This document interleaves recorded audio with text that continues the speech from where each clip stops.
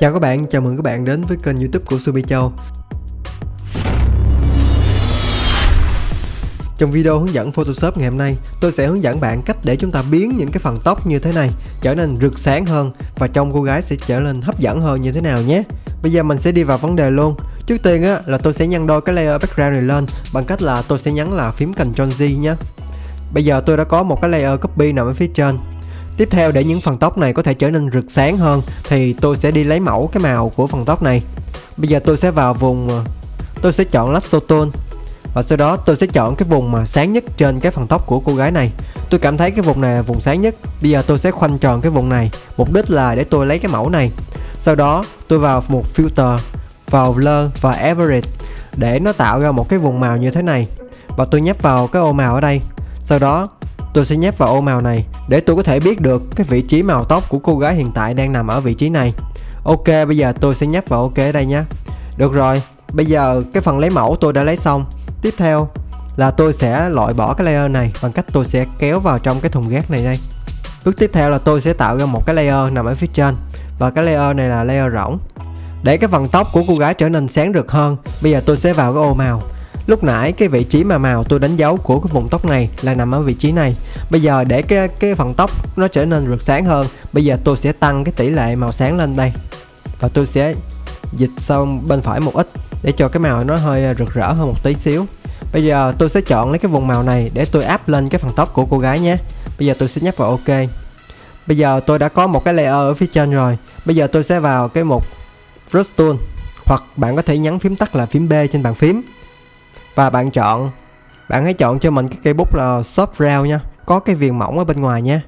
Rồi, bây giờ mình sẽ chọn cái flow này. Bạn sẽ giảm xuống cho mình tầm 50% Ok, bây giờ việc của chúng ta đó là tô những cái phần tóc mà nó sáng để chúng ta làm rực cái phần tóc đó lên nha. Bây giờ mình sẽ tô. Các bạn có một lưu ý ở đây đó là các bạn không nên tô vào những cái phần da nha các bạn. Chúng ta chỉ nên tô vào những cái phần tóc mà bạn cảm thấy nó sáng rực.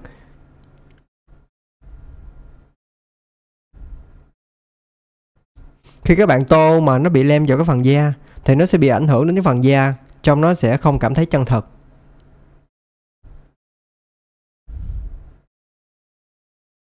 Rồi, bây giờ mình chỉ tô một phần mẫu như thế này thôi. Sau khi bạn tô lên những cái phần tóc mà bạn muốn làm rực sáng lên, bạn hãy vào một Blending Mode và chọn cho mình chế độ hòa trộn là Screen. Lúc này bạn đã thấy cái phần tóc nó đã thay đổi, cái màu sắc nó đã hòa trộn vào trong phần tóc rồi. Tuy nhiên, mình sẽ vào một filter và mình sẽ chọn blur và Gaussian blur để mình làm mờ cái vùng này. Bây giờ mình sẽ tăng lên từ từ nhé. Mình sẽ tăng đến cảm thấy mà mình cảm thấy nó vừa phải. Bây giờ bạn cảm thấy cái phần màu nó đã bắt đầu nó lem vào trong cái phần tóc rồi. Mình sẽ tăng lên thêm một tí nữa. Ok, mình sẽ để tầm à, 92 pixel và mình sẽ nhấp vào ok. Bước tiếp theo á, bạn hãy nhấp chuột phải cho mình vào trong layer 1 này và bạn chọn cho mình là blending option nhé. Bảng à, layer này hiện ra. Bây giờ, ở một underlying layer, bạn hãy kéo cái thanh này lên phía trên một tí. Bạn sẽ thấy cái phần tóc nó bắt đầu nó ăn dần vào. Đấy. Tiếp theo á, bạn cảm thấy ở cái mức độ này vừa phải rồi, thì bạn hãy nhấn phím Alt và bạn click vào đây. Nhấn phím Alt á các bạn, kế phím space. á và bạn nhấp vào đây, nó sẽ tách ra làm hai như thế này. Tiếp đến, bạn hãy lấy cái thanh này và bạn kéo lên phía trên. Bây giờ bạn sẽ thấy cái màu của phần tóc sáng này, nó sẽ bắt đầu nó nó áp vào trong cái cái phần tóc của cô gái luôn.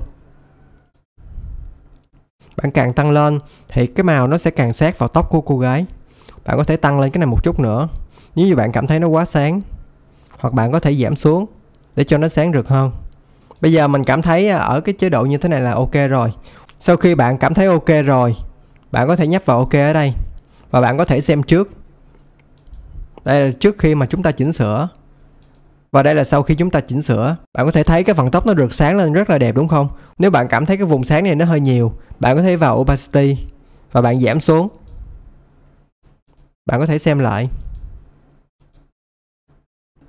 Như vậy là chúng ta đã làm cho tóc của cô gái bắt đầu rực sáng lên được rồi đó các bạn rất đơn giản phải không? Nếu như các bạn yêu thích thủ thuật này, xin hãy cho mình một like và bấm đăng ký kênh của mình để mình sẽ ra thêm nhiều video hướng dẫn các bạn hay hơn nữa nhé. Chào tạm biệt và hẹn gặp lại các bạn ở video tiếp theo. À trong kênh của mình còn có rất là nhiều video hướng dẫn hay khác nữa Bạn đừng quên vào kênh của mình để xem hết các video đó nhé Chào tạm biệt và hẹn gặp lại các bạn